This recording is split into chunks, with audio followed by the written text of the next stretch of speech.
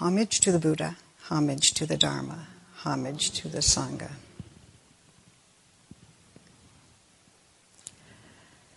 So, um, good morning, everyone, and uh, welcome. We're celebrating today, or remembering, or honoring all those who have died in war and continue to die in war. And uh, I've been reflecting on the Buddha's teaching on this subject. I was reluctant even to approach this subject for a talk because in my past I had some very strong views, and the residue of those is still with me. Um, so I had to sit with it for a while before I determined that I could um, reflect on the Buddha's teaching and stick with that and perhaps my views would be um, would take it easy. so last week we celebrated the very joyful occasion of Vesak, the Buddha's life, enlightenment, teaching, and death, and um, reflecting on the Buddha's teaching on war and peace. Um, it occurred to me that he was, uh, as he was sitting on the, under the Bodhi tree, he, he fought the battle with the armies of Mara, as we call it symbolically, all the forces that tend to pull us away from having a peaceful heart and acting from a peaceful heart. Greed, anger, and delusion in all their various forms. Quite dramatic in the um, rendition of it that we read. So, in looking at the Buddha's teaching, I um, also thought about Reverend Master Jiyu because she was the one who gave us this ceremony and wrote some of the music for it. And um, I reflected on how she lived through World War II as a young woman, a teenager, and um, she had many friends killed. She lived through bombings And after the war, she entered into Buddhist training as she described herself in The Wild White Goose, an angry young woman, asking the question why should death and cruelty exist? She went to the Far East and immersed herself in Buddhist training, and during that time, she found her way to the true question that she was carrying deep in her heart when was the first arising of selfishness? So there was a movement from looking outward and responding to the conditions, the terrible conditions of warfare and loss that she endured in World War II, to turning inward and looking at those conditions within herself that she could do something about. And then she set about to do it. Um, So the Buddha and Reverend Master Jiyu both um, had a question. The Buddha's question, of course, was suffering. What is the reason for suffering? And it seems to me that Reverend Master Jiyu's question was a variation of that same question. Myself, reflecting on this, I don't want to go into too much about myself, but a little bit about the background that I came from being born soon after that war that Reverend Master Jiyu endured. One of my first um, recollections is seeing on TV at a very young age video footage of a bomb testing that we were still doing in those days, way back in the early 50s. Uh, a thermonuclear bomb being tested, exploding and going off, the big explosion and the mushroom cloud that image stayed with me, and basically my childhood was somewhat lived under the shadow of that mushroom cloud. We got to conduct drills each uh, every so often in school where we got under our desk and held our hands over our heads in case of a nuclear attack, which also seemed to me completely insane.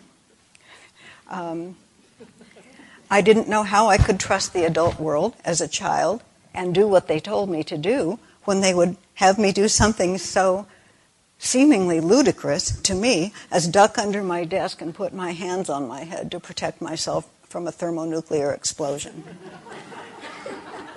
but, you know, as I grew up and grew older and grew more mature, I hope, a little bit, um, I've begun to see that we don't do everything out of rational behavior. um, so I was also, as I came of age, an angry young woman. I was angry about war too, and I considered myself, although not an activist, a dedicated supporter of the anti war movement and the peace movement. First, it was disarmament. When I was first um, sort of engaging in some protests, it was ban the bomb. And then it went into that, and it went into civil rights marches and the like, and into anti Vietnam War marches and protests. So I was angry and I was looking to change the conditions that angered me by changing the external conditions, forcing those in power to see the, re- the rightness of my point of view and do something about it. And uh, my question that I had at that time was why do these horrors of um, warfare, nuclear proliferation, racial and social discrimination, why do these horrors continue when we should know better? And eventually that question led to another one How do I make peace in my own heart? Reading some work by the Dalai Lama, the way he put it was on the subject of disarmament. We all individually create the conditions for warfare. We can do something about it by disarming ourselves internally.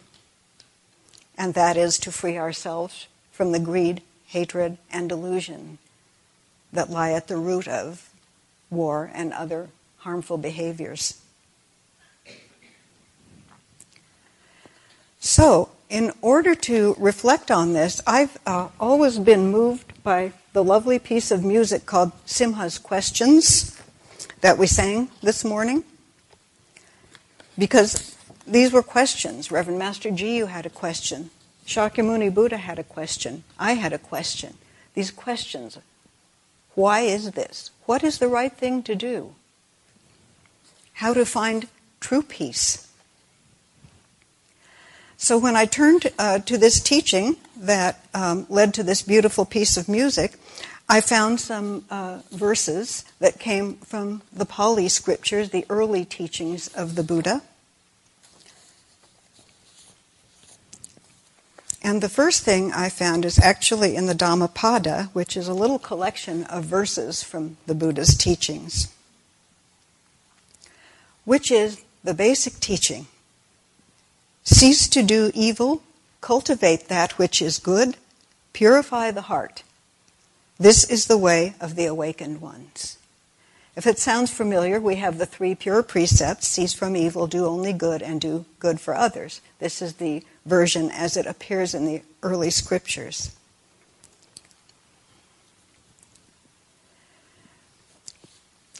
General Simha, the subject of the piece of music we sang today, was a general in the time of the Buddha, and he belonged to a different sect a different religious sect. And they taught a slightly different view of things. At a certain time, he heard of the Buddha's teaching and he decided to go and talk to the Buddha. And after a couple of tries, when his own teacher prevented him from, uh, suggested it wouldn't be a good idea to go see the Buddha, he finally got to see the Buddha. And um, he asked the Buddha, um, whether the Buddha's teaching meant the annihilation of the, the annihilation of oneself, the contemptibleness of all things, doing away of the soul, burning away of man's being. Was this the Buddha's teaching? Um, and the Buddha answered to this question that in one way this is true, and in another way um, the opposite is true. So from there, you see the Buddha laying out a third, what Reverend Master Jiyu called a third position. Um, two paral- seemingly parallel truths that can come together in one great truth. The Buddha said to Simha, I teach Simha the not doing of such actions as are unrighteous, in other words, ceasing from evil, either by deed or by word or by thought. I teach the not bringing about of all those conditions of heart which are evil and not good. However, I teach Simha the doing of such actions as are righteous by deed, by word, and by thought. I teach the bringing about of all those conditions of heart which are good and not evil.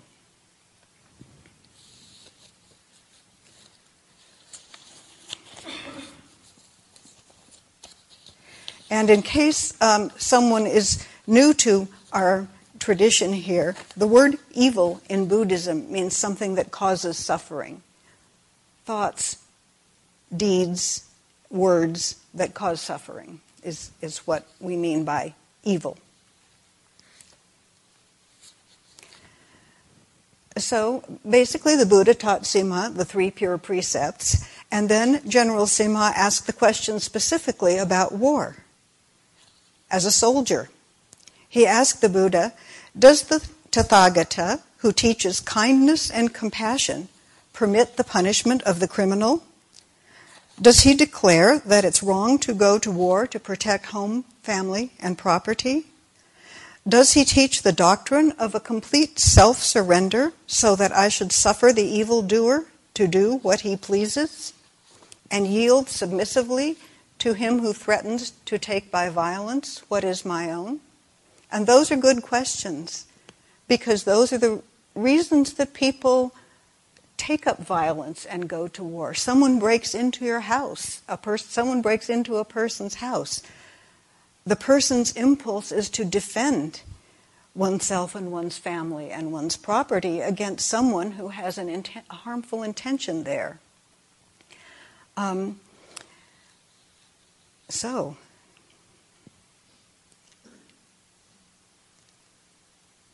human beings, I, I, was looking at a lovely book just before I came here about friendships in the animal world. And each little um, chapter had um, a description of the scientific nomenclature of each kind of animal, and including the human one.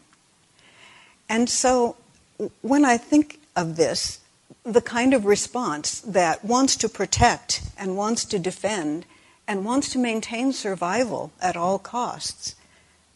Fear. This is a part of the human um, being's animal heritage.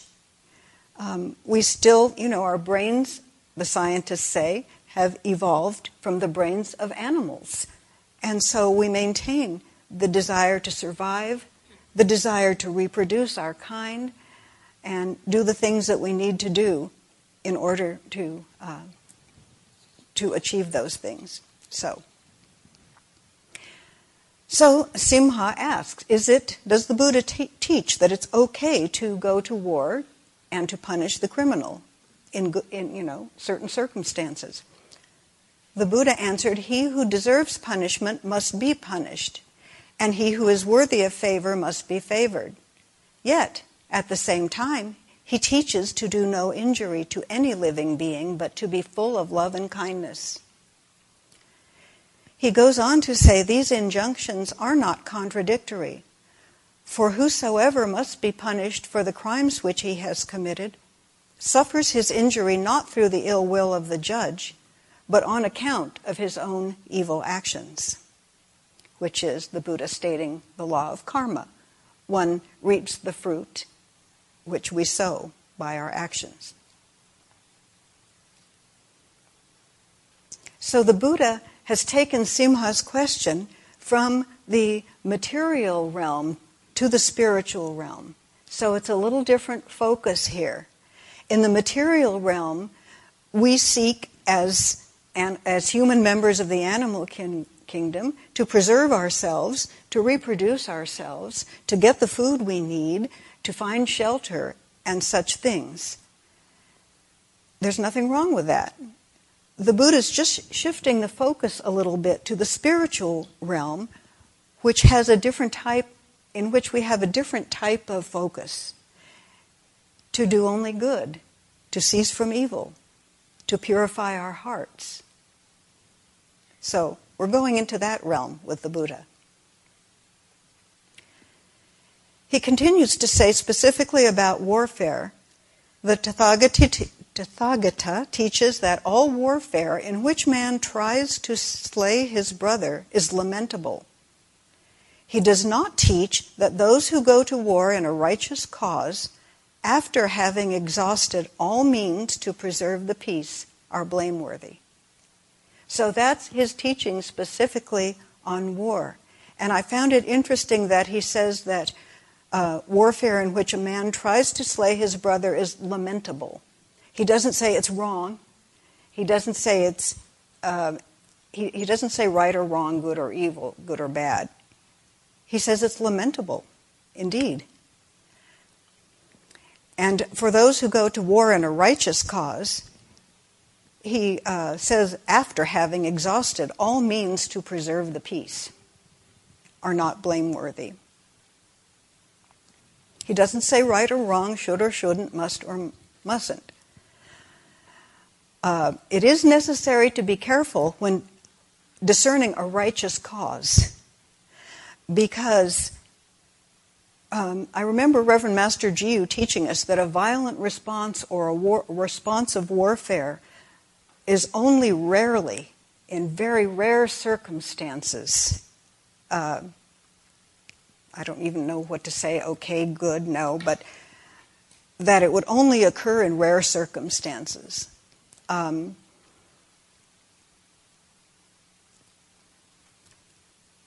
so, in discerning what's a righteous cause, to be careful and be aware is there even a trace of greed, wanting something, wanting to cling to something, clinging to survival, clinging to one's family property or national ideals? Is there even a trace of hatred, aversion, not wanting something? And then delusion, which is more subtle. And for me, it often takes the form of fear. Is there even a trace of fear in one's response? Um, my response to seeing the nuclear bomb test was terror, horror, uh, fear. So if I had reacted to that, I would have been reacting out of fear. And, you know, in, in a sense, the activities I joined in with to uh, sort of try to make an end of those things We're somewhat motivated by fear. The Buddha goes on to say about warfare, um, this, the beginning of the stanza I'll go back to so there's the whole thing. He teaches that all warfare in which man tries to slay his brother is lamentable. He does not teach that those who go to war in a righteous cause, after having exhausted all means to preserve the peace, are blameworthy. He must be blamed who is the cause of war. And I stopped and scratched my head there for a moment because it took me a little while to figure out well, who's the cause of war? And then I remembered what the Dalai Lama's writing had said, which is each one of us within our own hearts has the potential for being bringing about the conditions that are the cause of war. So, who is the cause of war? Well, um, let it not be me. So, therefore, what do I have to do? Um, it could be me, as long as I perpetuate thought, word, and deed based on greed, anger, and delusion. So, what the Dalai Lama suggested is that as individuals, we disarm ourselves internally. And the way we do this is through restraint. When we, we're all subject to what the Dalai Lama calls afflictive emotions. Things like hatred, greed, lust, envy, jealousy, resentment. You know what they are. We all know what they are. So that we use restraint when we see those um, impulses arise in our minds. Our practice is to watch the mind.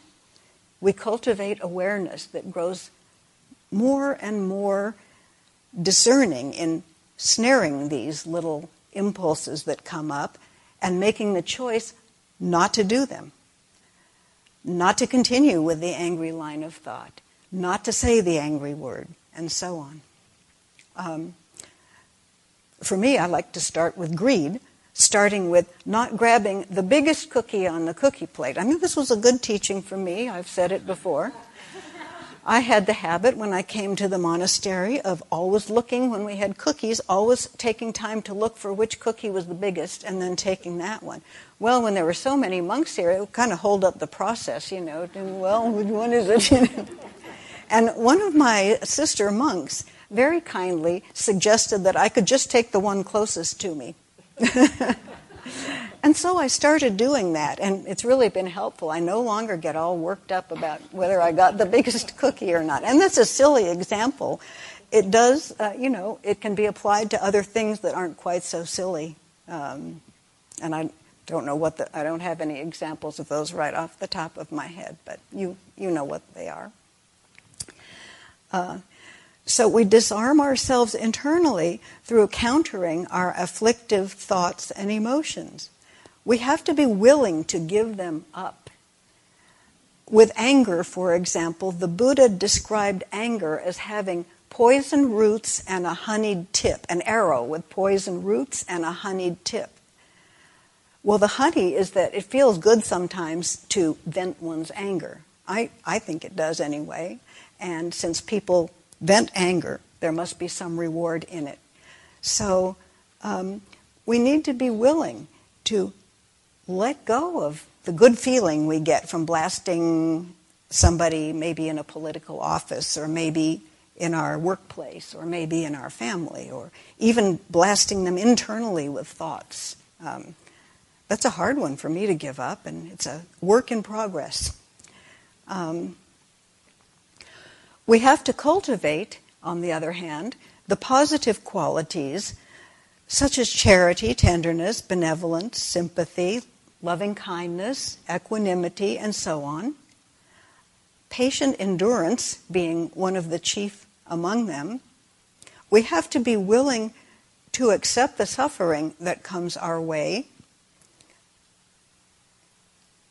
in order to, um, we have to accept it that if suffering comes our way, it's the fruit of some previous action. And therefore, the, res- the helpful response is to willingly endure it. Um, the Buddha said to General Simha, he said that struggle must be, for all life is a struggle of some kind. But he that struggles should look to it, in other words, be aware, lest he struggle in the interest of self. So if suffering comes to us or the occasion of struggle comes to us, to be able to be still and be certain that we aren't responding in the interest of self. So, easily said, not so easily done. So, disarming ourselves internally. Uh, this is very satisfying to me because it helps me with the idea that, you know, I must do something about these awful things such as war and nuclear bombs and the like. Yes, I must do something. I must disarm myself internally by letting go of my desires to act on anger, greed, fear, jealousy, and so on, and by cultivating the positive qualities of loving kindness and tenderness and others. So, awareness is key to this. We practice awareness when we sit on our cushion. We sit there and allow the thoughts and feelings to come and go, being aware of them and not running off with them. And when we find that we've run off with them, we bring ourselves back and do this many times. By doing this, we cultivate awareness. I read an article in a Buddhist magazine where a gentleman, a lay teacher, was talking about developing and strengthening our awareness muscle. Oh, he was trying to quit smoking, and he made himself a little bargain. he said he could smoke, but first, before he smoked, he carried a little notebook and he had to write down the occasion when he wanted to smoke. And then it was fine for him to go ahead and smoke, but he had to write down the impulse that led to the desire to smoke. And he found that over time that helped him quit smoking because he was developing his awareness muscle. Um, I thought that was a good way to approach it by developing the awareness rather than saying, you must not smoke. Okay. Um,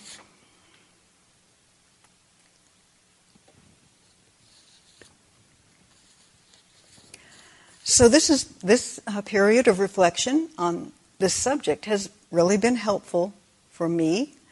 I've never been of the inclination to actually go out there and do battle on a battlefield. Um, all, people all have different temperaments.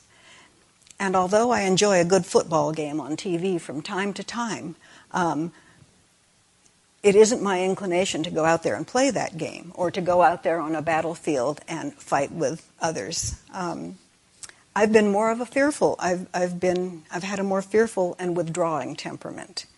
Um,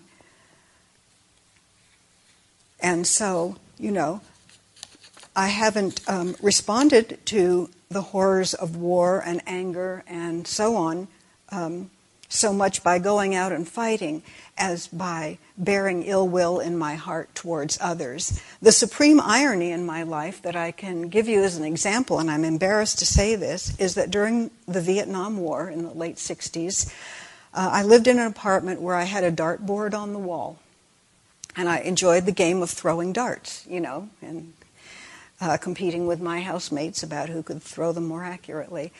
And at a certain point, I put a photograph of one of the top generals from the Vietnam War onto the dartboard because I was really angry about that war. I did not get the irony that I was attacking uh, someone because I was angry about war later on, I grew up a little bit more after that, I would hope. But um, so for me, the struggle is with the greed, hatred, and especially with the fear in my own heart. Whether the external conditions be in the midst of a thermonuclear bomb attack or in a time of peace, prosperity, and enjoyment. I'll just read a couple of things from this little book on the Buddha's teachings on social and communal harmony, and that will be the end. um, this has always been a helpful piece of scripture for me. The Buddha is teaching to his monks even if bandits were to sever you savagely limb by limb with a two handled saw, he who gave rise to a mind of hate toward them would not be carrying out my teaching. And I've often reflected on this and thought to myself if someone were sawing my, me limb from limb with a two handed saw, saw, what would my heart be filled with? Well, I can't say that it would be filled with loving kindness. However, I can cherish the aspiration that it be filled with loving kindness, and I can practice loving kindness. So instead of someone sawing me limb from limb with a two handled saw, if the monk next to me at the table is slurping their soup, or, you know, the minor annoyances that arise in daily life, if the politicians are spouting words that are just causing me extreme um, discomfort, then is a chance to practice filling my heart with loving kindness and letting go of the hatred that naturally arises on those occasions. And hatred includes irritation, annoyance, resentment, and so on. So, the Buddha continues Herein, monks, you should train thus. Our minds will remain unaffected, and we shall utter no evil words. We shall abide compassionate for their welfare with a mind of loving kindness, without inner hate. We shall abide pervading them with a mind imbued with loving kindness. And starting with them, we shall abide pervading the all encompassing world with a mind imbued with loving kindness abundant, exalted, immeasurable, without hostility and without ill will. That is how you should train. And that's the aspiration today on Memorial Day for me. Thank you.